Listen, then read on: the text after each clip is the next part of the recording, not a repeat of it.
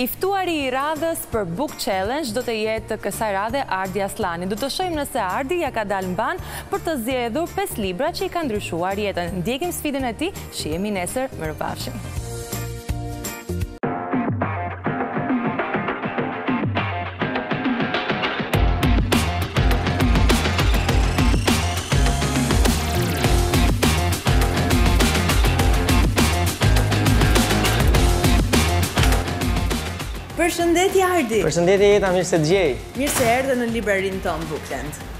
Mirë se të gjej këtë dimension të ri.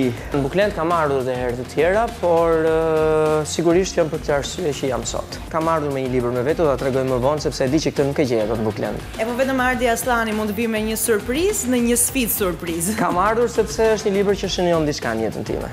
Ndërkohë, në Bookland ne bëjmë sfidën 5 minuta ku ti duhet të gjesh në librari 5 titujt kryesorë të jetës tënde, ata që kanë lënë një gjurmë të veçantë. Dhe unë kështu e mendova që ta, ta nisim si një formë rrugëtimi të gjithë të gjithë këtë kërkim këtu që do të bëjmë mes titujve. Titujt janë shumë, unë uroj të gjej ato që më duhen. Atëherë je gati? Jam plotësisht se gati. 3 2 1 Fillojmë. Ky është një siklet i jashtëzakonshëm tani. Unë edhe po t'i kisha caktuar librat, nuk do dija ku t'i gjeja sepse koha Për mua është ngaqë jam shumë korrekt si njeri dhe me kohën kam një marrëdhënie.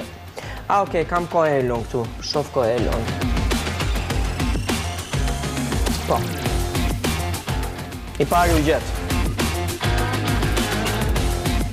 Nuk e di tani, bo, sa sa rënd. Jam i lumtur që kam marrë një libër me vete. Oh, E gjetëm. Ja ku e gjetëm librin e dytë. Gjetëm librin e dytë Amos Ozin.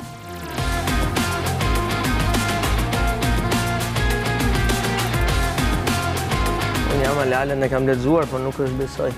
Ja, Tirana e vjetër do kishte qenë libër fantastik për mua, domethënë, sepse tregon drejtpërdrejt origjinën time, por që nuk është rasti për ta marrë. Hmm? Kemi Murakamin, s'e kam lexuar akoma këtë, e kam marrë, por nuk e kam lexuar. Këto janë këto librat girlboss dhe këto librat mendoj që nuk janë të preferuarit. Jo, nuk nuk shkoj kurrë drejt titujve të tillë për hir të së vërtetës, edhe pse ndoshta ndonjëherë ato tituj edhe të ndihmojnë në momente të caktuara jetësore, po nuk shkoj.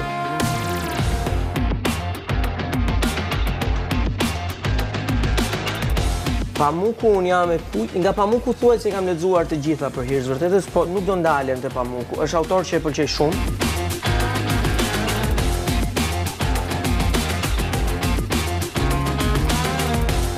Okej, më duket jam te letërsia shqiptare Dua të gjej Kadarenë tani Kadarenë, Pallati i ëndrrave, Darka e gabuar Ja, thuajse të gjitha i kam lexuar të Kadaresë Kronikë, Kronikë në gur, po, po, është Pa diskutim për ringur dhe kam një histori pse dua ta them këtë.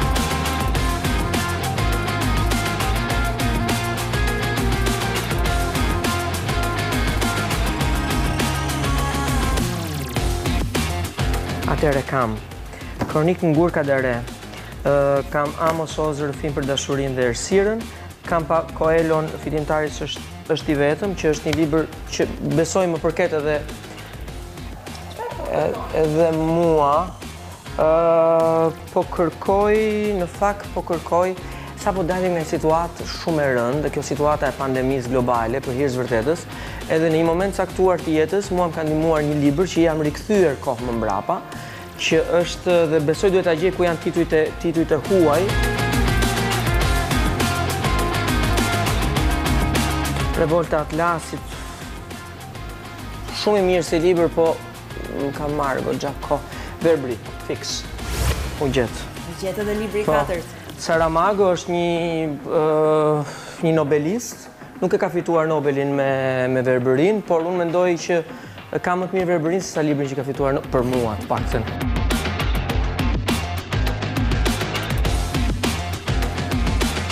Tani po shkoj në një moment shumë të vështirë të jetës time, është momenti i humbjes së babait.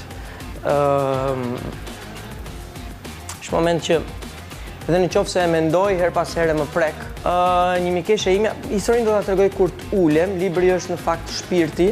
Dhe unë të sugjeroj që ta gjesh menjëherë Oke, oke, u morëm shumë me fjalë atëherë. Dhe sekreti ka shënjuar diçka, po ka zgjatur pak sekreti në kohën e... O, sa e vështirë është, mes kaq shumë titujsh. Edhe 20 sekonda. Jeta të lutem, mos ushtro presion. A mund të marr pak kohë? Patjetër, ti je i shpisë. Po nuk dua të dal jashtë minutazhit. Ja, është te ky grupi i librave këtu, po besoj që sepse ka të njëjtën filozofi. Do ta gjesh dot apo jo? Botëkuptim... u gjet. Ah, dhe sfida u përfundua. Dhe sfida u përfundua. Jam me pesë titujt e mi.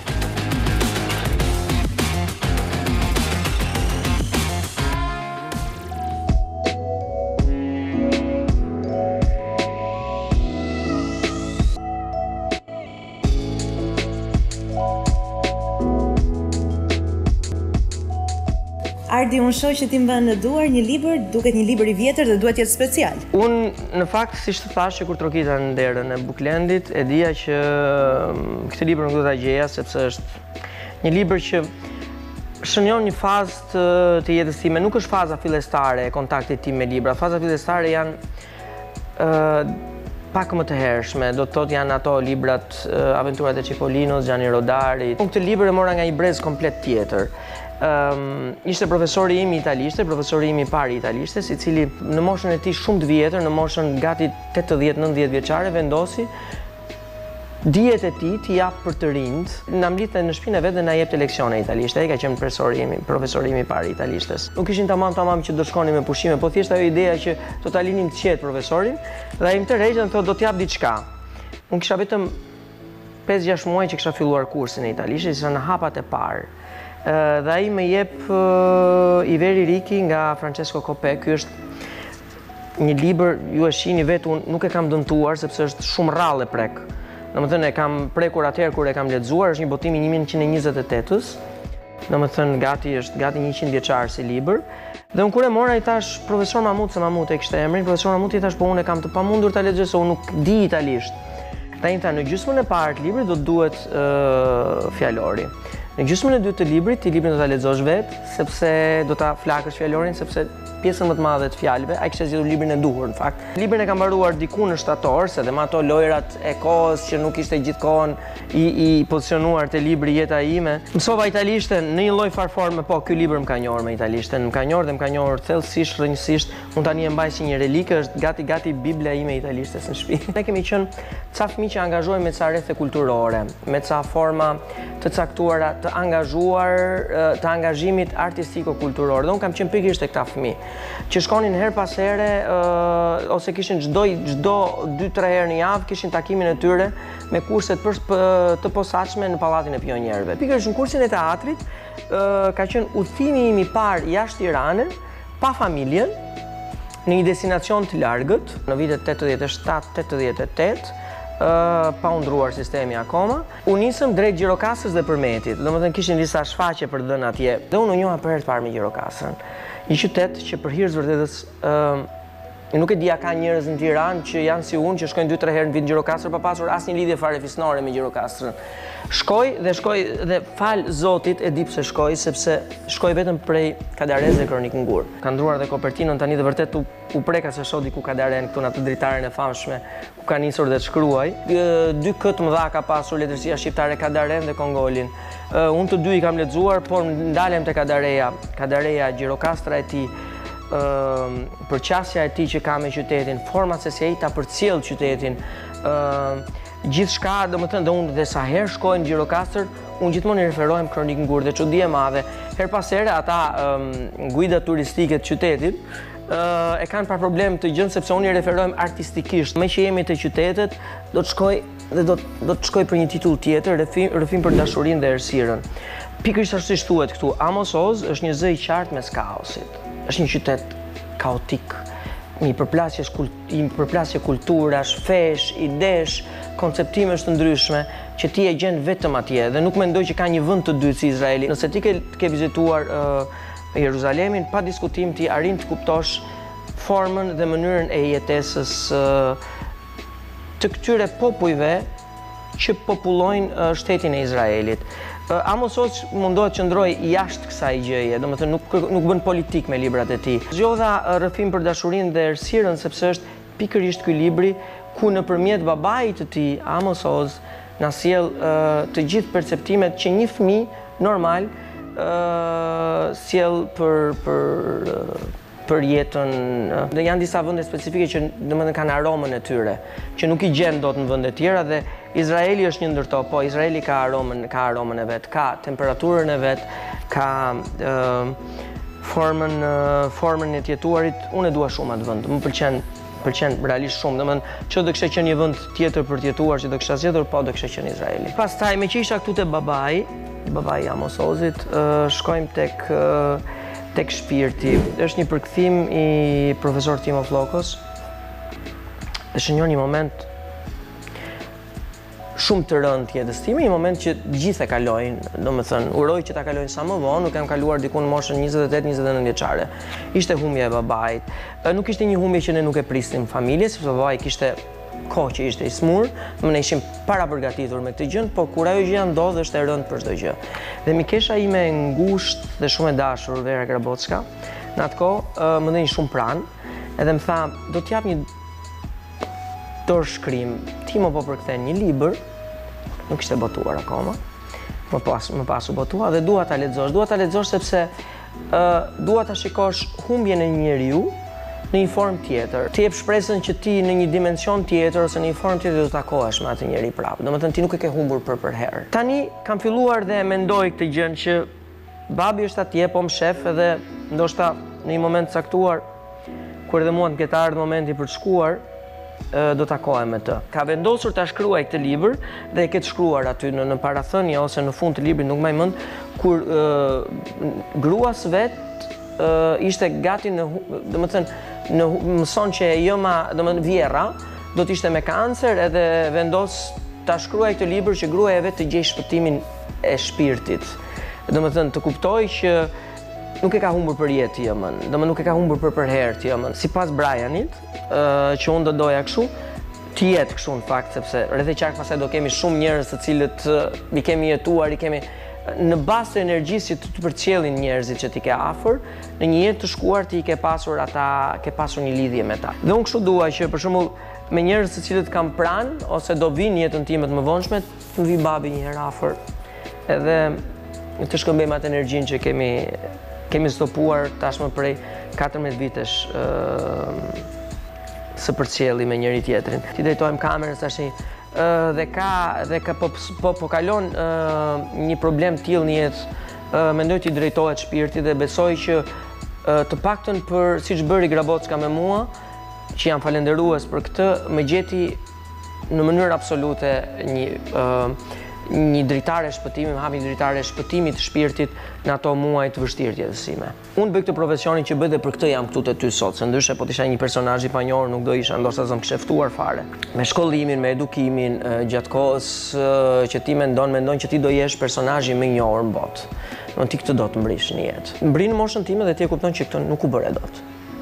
Domethënë treni për t'u bërë personazhi më i njohur në botë ka ikur, ka, ka ndaluar në stacione të tjera që nuk kanë qenë stacionet e tua. Ky është një libër që katër jetë, ka katër jetë paralele të katër njerëzve të ndryshëm që puqen në festivalin e Kanës. Historia dhe përcjellja e të gjithë rrethanave të librit na çon dhe prandaj e kam gjetur veten në këtë libër dhe kam thënë Faleminderit, falënderues ndonjëherë që nuk u bëra kaq i famshëm që të kem pasur kaq telashe dhe probleme në jetën time. Ti e ke zbritur me këmbë tokë, e ke kuptuar që nuk u bëre dot ai i madhi i madhi që prisje, por që ë ke shpëtuar nga ca siklete të mundshme. Zoti që unë i besoj aq shumë më ka më ka mbajtur larg kësaj gjëje, se unë nuk do kisha nuk do kisha përballuar dot. Dhe shkojmë tek Saramago. Jose, mendoj që të gjithëve ne do të na mbetet në mendje ty jo se ti nuk u mbylle në shpi shkove në punë për ditë. Po ne do të na mbyllet, do të na mbesë në mendje ai ajo ai muaj ose ato 40 ditët e famshme që ne u mbyllëm ë uh, si të verbër në ato apartamentet tona prej aq metrash katrorë sa janë. Libri nis kështu, libri nis me një epidemi ose pandemi që shkaktohet duke qëndruar njerëzit pranë me njëri tjetrin. Ne e kishim nëpërmjet frymarrjes, këta në libër e kanë nëpërmjet shikimit. Është fiks ajo që ndodhi me ne. U mbyllëm në shpi, kishim shumë pak informacion. Dritarja e vetme ishte televizori. Ne shinim ë vdekje të mëdha, masive në vende të caktuara, të gjitha këto vijnë në këtë libër dhe kush e ka lexuar do do t'i rifreskohet kjo situatë. Por libri në fund fare që unë nuk dua ta ta tregoj fundin sepse dua ta lë për shikuesin për shikuesin e emisionit tënd dhe për lexuesit e mirë që ka Bookland të vijnë ta marrin si libër, sepse në fund fare do kuptojnë në të vërtetë çfarë ndodh.